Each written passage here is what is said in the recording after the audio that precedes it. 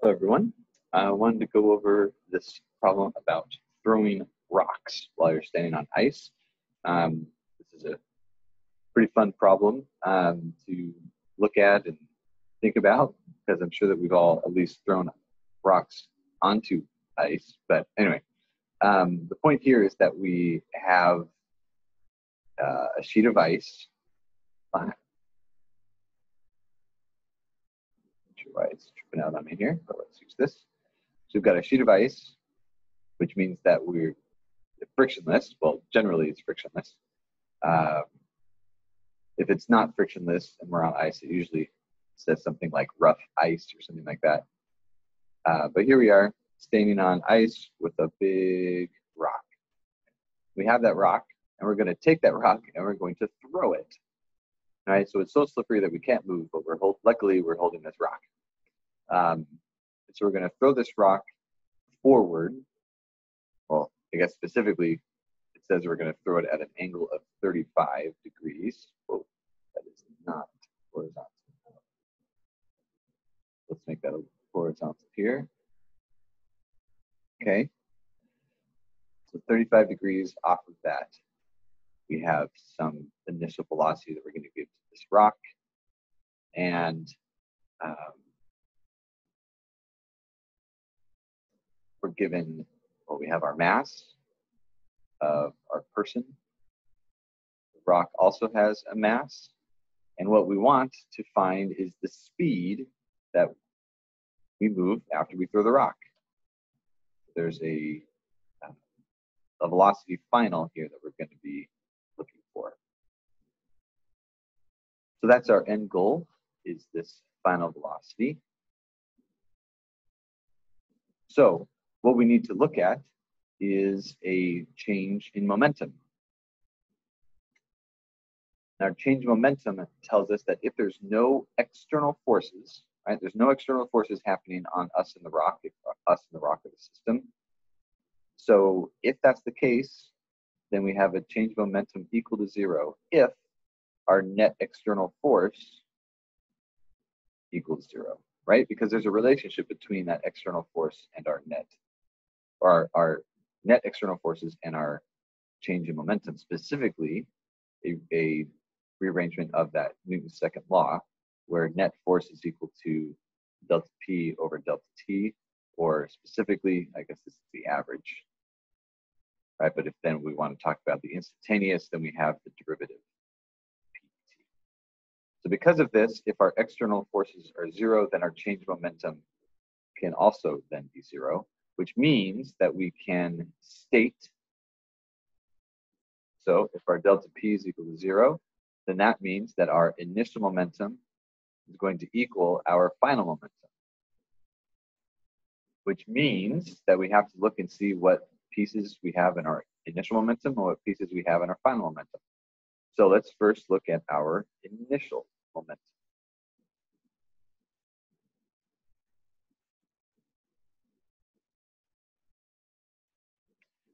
So our initial momentum is zero. Nothing's happening, right? In our system, we are standing there with the rock, and that's it. That's the only thing that's going on.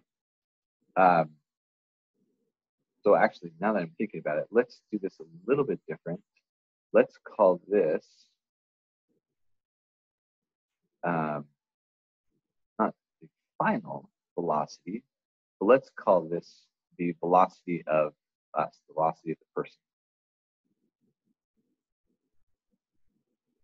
Okay, so the importance here is that initially um, we are together, the rock and us are together. We are one system and we're not moving, nothing's happening.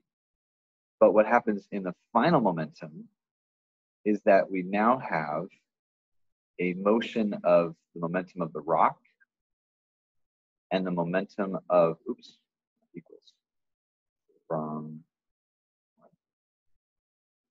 and the momentum of us, the person. And those two momentums add up to the momentum final. But we know that these two momentums have to be equal. So that means that our the momentum of the rock and the momentum of the person have to add up to be what?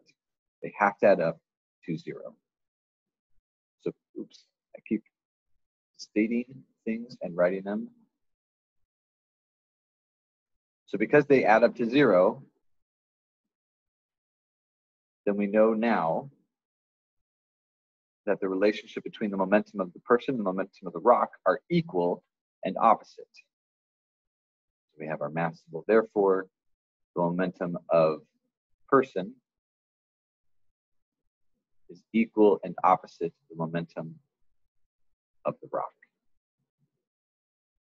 And the important thing here too is that these are vectors, right? So this cares about the direction at which these things are going. So let's establish a positive and negative. So we'll do a positive y here and an x here.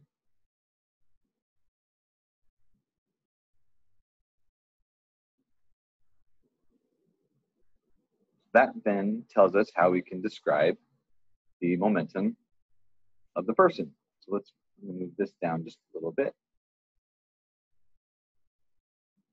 Well, actually, yeah, we'll just put that up and go on the side. Okay, so let's talk about the momentum of the person. Momentum of the person is given as the mass of the person, and the mass isn't changing, so that stays the same, times the velocity of the person. And that velocity is in what direction? Specifically, it's in the, as we've defined it, the negative,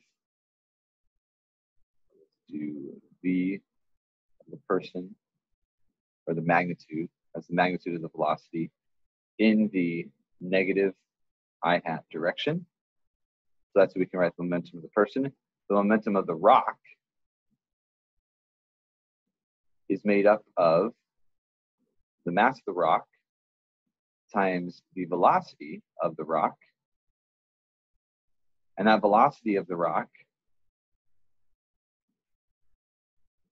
has components in both the x and the y direction. So we're going to take out the mass of the rock here and just look at the velocity of the rock in the x direction, and that's a positive i hat, and the velocity of the rock in the y direction, and that's a positive j hat.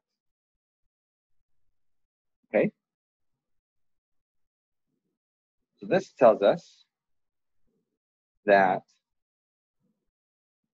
we now um, can correlate these momentums together and specifically which which one do we care about in solving this in this problem we only care about this x piece i guess i should highlight the whole thing right? So we only care about this x piece of our momentum because that's what we're we're looking for.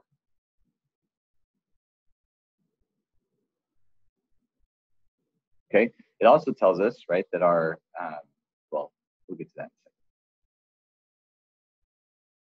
Okay, so if we come back to our momentum, um, we want to now look at the initial piece in the x direction and equate that to the final piece in the x direction. And again, our initial is just zero, and our final is this mass of the person times velocity of the person, which is in the negative x hat direction. And we add that to the mass of the rock times the velocity of the rock in the x direction. And that velocity, let's come up here and we can draw this out. This is the velocity of the rock. We know the angle at which that's at, and that's a theta. That means we have a piece in the x direction, which is our VRX, which is equal to, this is just um, our trig. So this is our V of the rock, the magnitude of the velocity times cosine of the angle. And then we have the same thing for the y piece. Where we have VRY is just the V of the rock times the sine of the angle. So then down here, we're just going to use that x piece and add it into our equation so that we have the mass of the, rock. oh, that's the wrong, there we go. Mass of the person. So I'm going to move this to the other side. Mass of the person, velocity of the person, is equal to mass of the rock times the velocity in the x direction, which is the velocity of the rock times cosine theta, which means we end up with an equation for the velocity of person or us standing on the ice as the ratio of the masses times that initial velocity and the angle above the horizontal. And that is our velocity.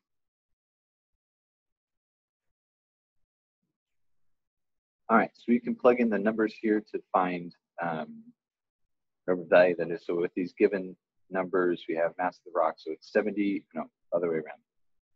3 over 70 times 12 times cosine of the angle. So you can get some, some value for that.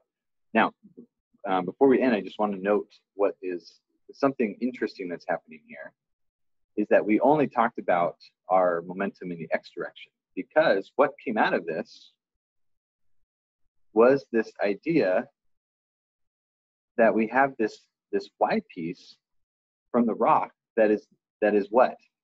Right? It's sitting by itself. We have some y piece. So what does that tell us then about our initial assumption with this delta p?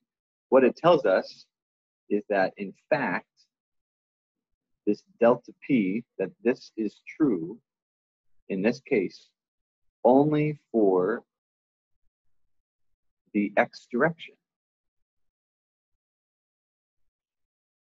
So we have to go on here and we have to make these adjustments in that this is only true for the x direction.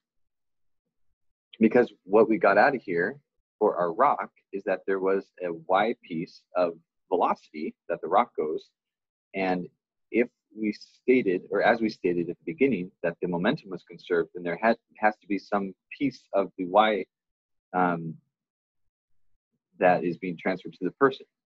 And in fact, it the the problem is is that if we do um, if we want to talk about this other force, what other force is acting in the y direction on the person? And specifically, that is some normal force from the ground. The normal force from the ground is, is the external force that's keeping um, us standing there with the rock. And so there is an external force that is um, that is being, be, that is at play here.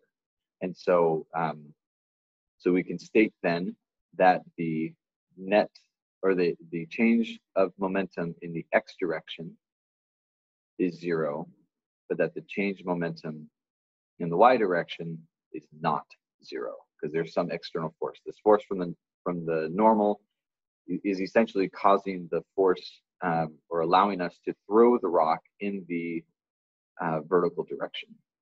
Um, so it's an important thing to point out here as we're going through this analysis. Okay, in that the momentum can be conserved in one direction, but not in the other. And we can do that because with our vectors, we have to split them up into our x and y pieces. We were doing that with our net forces. We can do that with our momentums. Um, we do that with our velocities. And so we can do the analysis um, for one direction with this net momentum of x equals zero. Um, and then we can do it for the y direction where the this is not the case. Okay, so this is an important problem um, to point out what is what is going on and that we can split this up if we need to. Okay, so hopefully that's helpful. Let me know if you have other questions.